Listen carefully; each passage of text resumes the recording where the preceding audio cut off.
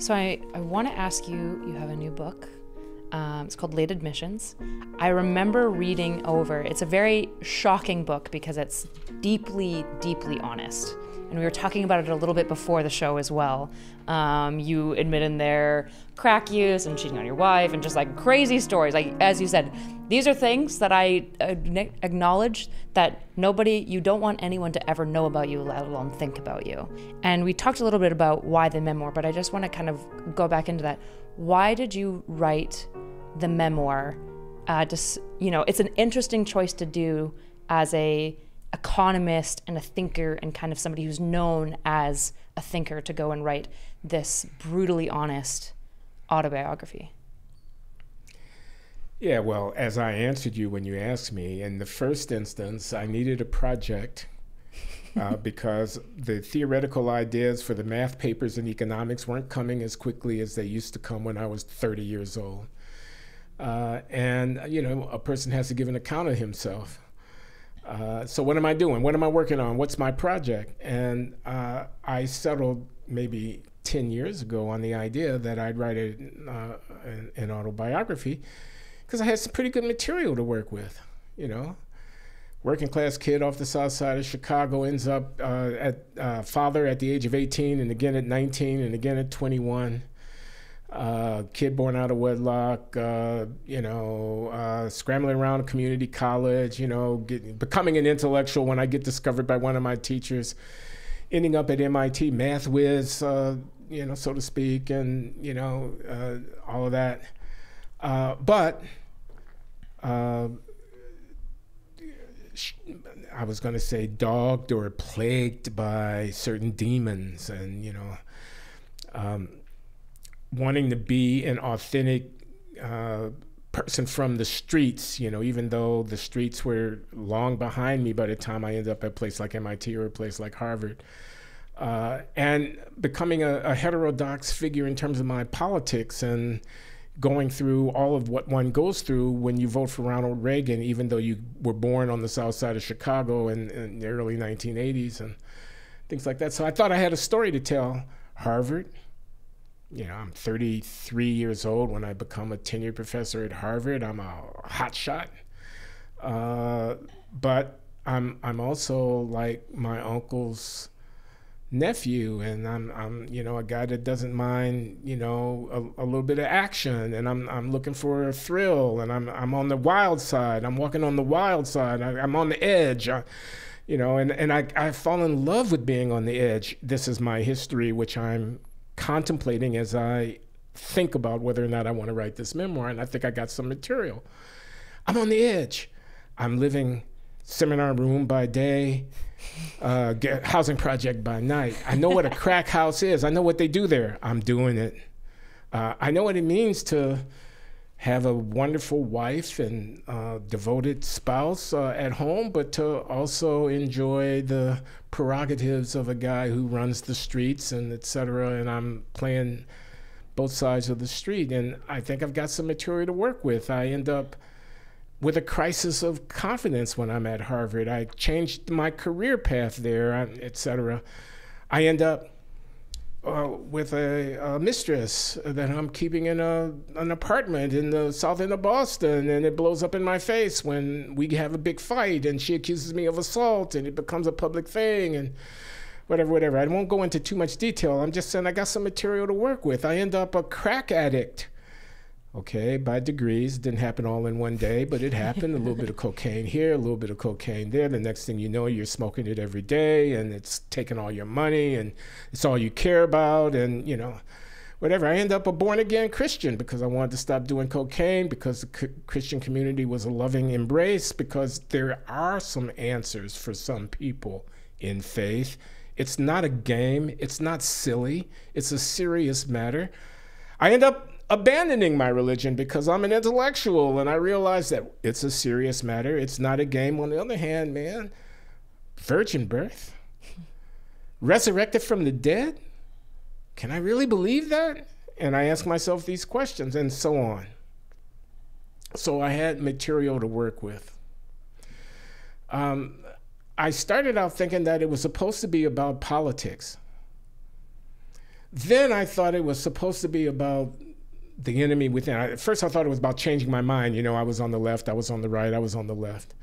When I was on the left, they liked me. When I moved to the right, they didn't like me. But the people on the right liked me. But then I didn't like them. And so I moved back to the left. And then they didn't like me anymore as much. And the ones on the left who I left when I went to the right, who were welcoming me back when I went moved back to the left, were they really my friends? Why was I doing it? This kind of stuff. Uh, I thought it was about politics. Then I thought it was about uh, the enemy, and I was going to call the book Changing My Mind. Hmm. Then I thought it was about life challenges, like how do you overcome drug addiction? Like, what about uh, that woman who stood by you while you were, you know, going out there doing everything under the sun? Uh, you know, uh, what about your loss of uh, confidence when you were at Harvard and you didn't think you were good enough to be there? And this is a, back to what we were talking about earlier. I'm black. If I hadn't been black, as my uh, esteemed senior colleague Tom Schelling told me, you think you're the only one who's afraid of failing here at Harvard? Every one of your colleagues is a neurotic, hiding behind their secretaries, worried about somebody asking them to justify their existence. Relax and do your work. But I was black and I couldn't help but think they were looking at me as a black person, and I and I had all this stuff going on. So I was going to call the book "The Enemy Within" because I thought the struggle against various enemies, addiction, phony faith or real faith, is it what is it? Confidence in myself as a person who might fail, because everybody might fail, but who quit the field too soon because he didn't want to be the only black guy in the office who was also the also ran guy whatever. And and I, I thought the book was going to be about the internal struggle to live authentically and in good faith, as I've said, uh, as a black man in the tw- 20th century America. And, and, and I thought it was that. And then I realized uh, that I didn't truly understand my own life. And I realized that the right vision for the book was a engagement with this uh, I call it the problem of self-regard. An engagement with this recollection of what actually happened and a coming to grips with what really happened because I had told myself one cover story after another of self-justification. And I realized that if I exposed this self duplicity, this this kind of uh, oh, I told myself that story because it was uh, what I needed to say. Oh, for example, I told myself that the economics department at Harvard was cold and indifferent, and that the reason that I needed to move out of economics and into public policy, which I did do, and I changed the direction of my career from green eye shade technical theorist to um, a pundit who would comment on public affairs and uh, do stuff for the Kennedy School, which I, mo- I moved to. Um, I told myself that that was because uh, they were pushing me out at uh, Harvard at economics and they were cold and they were indifferent, but the real reason was that I lost my nerve. I choked. Uh, and, and I told myself a variety of stories like that, which weren't true.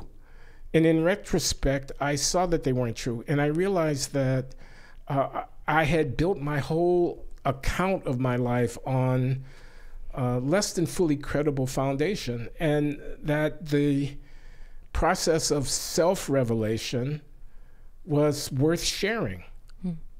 with the world. I'm not the only person in this existential dilemma, I thought. And I thought, now we're getting close to a book. Now, not, now we're getting close to something that will move people in their gut. And I tried to execute on that idea. And kind of, um, I guess, re narrativizing your life or trying to understand why you made decisions that you made in the past. Is there anything, if you could communicate one or two things to your past self, um, I, I guess something you would consider profound or insightful, maybe that, that took you a long time to figure out? Is there anything you wish you could have been able to impart on yourself as a 20 or 30 year old? Or do you think all of it had to be learned through experience or? Yeah. Um, When I came out of graduate school, my first job was at Northwestern University Economics Department, which had been my alma mater. I was an undergraduate at Northwestern, so I was delighted to come back triumphant as a young assistant professor. Um, it was a very dynamic department in my field of economic theory, and three of the people who were a part of my cohort of young new scholars coming to Northwestern ended up, uh, it's now almost 50 years since 1976, with Nobel honors. Three of them working on stuff that they were only beginning to think about when I was among them. They were my peers I thought of myself as the equal of any of them. At least that's kind of what I told myself. But in fact, did I really? I get to Harvard, I'm watching them rise, and I'm feeling stagnant, and I'm afraid of failure, and I lose my nerve. I'm afraid of failure in part because I don't want to be the black guy who failed. I quit the field when I might have been able, by staying the course, to join their ranks. I might have, I might not have. It's okay not to win the Nobel Prize. It's okay to be, you know, a guy who's pretty good, who's a journeyman, who's accomplished, who's published, who's done good work, uh, but not to be the best in the world. But I quit the field without finding out whether or not I was actually fit. I don't know even to this day if I would have, in the fullness of time, measured up to the same extent. My expectations for myself were extraordinarily high, so high that rather than disappoint them, I found something else to do. I don't like that uh, about myself. I, I, I don't like the fear of failure and the embarrassment of being the only black guy in the room and not being at the top of the heap um, there's something uh, inauthentic about that. There's there's something cowardly about that. Um, now, when I tell people this story who know my life's history, they say to me, I'm so glad you didn't choose to stay a technical economist because you write brilliantly and you're the most interesting person I know. Literally, people say that to me. They say, you're an intellectual of the first rank. Why did you have to be a green eye shade economist doing stuff that nobody was going to read? And there's, I think, something to that argument. But deep down inside, I know that guy. That guy wanted to be a technical economist of the first rank. That's really all he cared about, and he quit. Um, and I don't like that about myself.